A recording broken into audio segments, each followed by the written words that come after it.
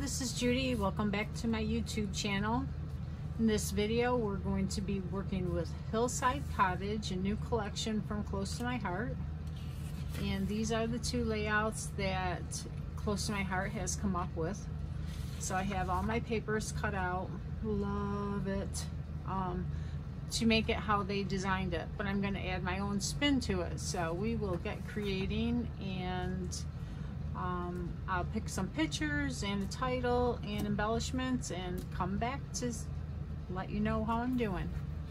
Okay, so I've got my background and I stamped a border around both pieces. It's still kind of plain for me, even with a big piece of paper and this on the corner here like this. It looks really cute though, right? Love the fox. Anyway, I noticed in some of this paper it has like little streaks for the wood grain type and it has it on this too. It's what I love about this collection. And I thought I'd try to recreate that very lightly on this background and I might do it on this one too. We'll see how it works first. So I pulled out this old tool I had and God knows where I got it. It's a Ketapper tool but it's supposed to be you get paint on it and then you roll it like this and it splatters. so, you know, it's like a toothbrush. You could use a toothbrush for the same idea. And what I'm going to do is use this to create lines because it's real stiff. And I thought I'd be able to create some lines going down. Now I, I need to get it a little bit wetter though to be able to pick it up with this tool because it is so, it's very hard bristled. So I add some water to it, and this is the paprika ink from Close to My Heart. So we'll see how this goes. Oh yeah. And this will be, you know, the same kind of lines. I don't want to do a lot.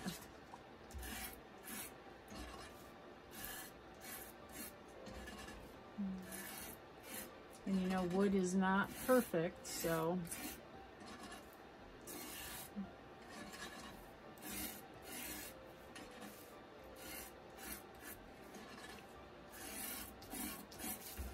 let's see. Okay, so this is going to be this page. So I'm to have a little bit showing up here some here and down here.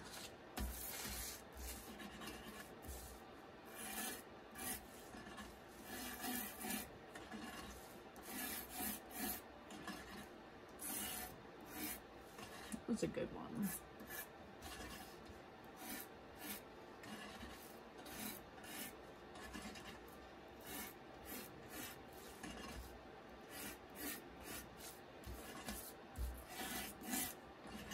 like to get a good one right in here.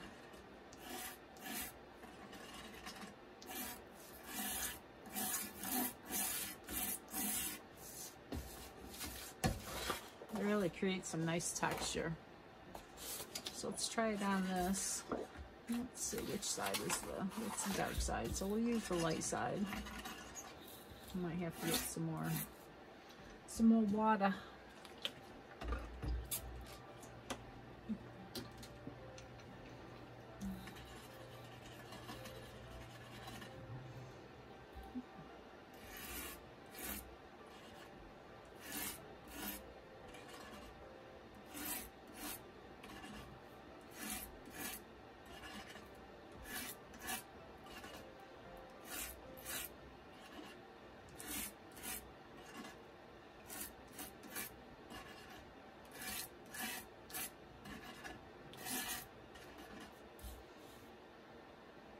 And that's probably all they'll show. So that's all I'm to do. And I'll do the other paper too. And then I'll be back. Okay, I got both pieces done. And I've got these that I'm going to just sponge the edges with the paprika as well. I am definitely a inker sponger of the edges. And this covers up, like I have a little bit of the paprika um, pattern on this piece that I didn't cut it close enough. So adding the ink to it covers it up. Makes it look like it was that way, supposed to be that way. Even the zip strip has that wood look to it. Just love that in this collection.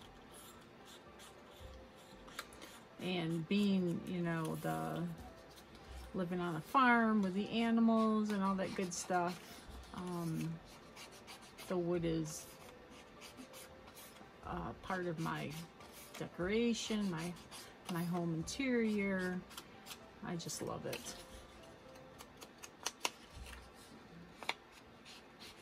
And I like the subtleness of this collection, that it's not like in your face wood. We do have a really great wood grain line that I like too. So, all right, I'll be back after I get that done with pictures and more of a layout with embellishments, hopefully. All right, I am done with my layout finally. I took a little break off of it, but what I ended up doing was adding a couple stickers here. I added some splatters with uh, Distress Oxide ink.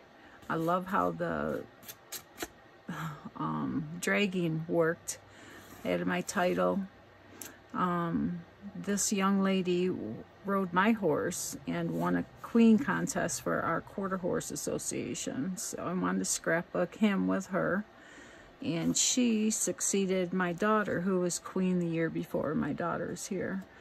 So that is all done again and I added a little embellishment cluster here. Um, now I had a lot more photos so I made a flip flap to go in here. So in my album it will go like this and as you flip the page it will then go here and then you'll have this so that's a great way to incorporate um, extra photos and I just added some paper underneath it to layer the photos on to coordinate with the layout to see how the black lines up. I didn't have any more yellow so I used some of this other yellow paper. It didn't really turn out but you can't see that much so I'm okay with it. Um, I didn't want to redo the whole thing so it's okay.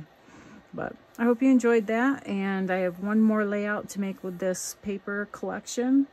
I did also make some cards I'll share because these are really cute. I added our little bitty sparkles. Oh, and I do have to add some bling to those pages. So this is the little horse one. And then there's a little bunny rabbit. I hope I've got these in frame. Do I have these in frame? Yeah. And then another bunny rabbit. Oh, and his eye moved. I gotta move that.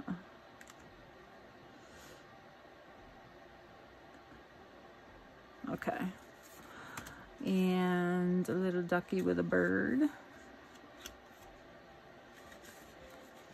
I have them all. And another ducky with a bird.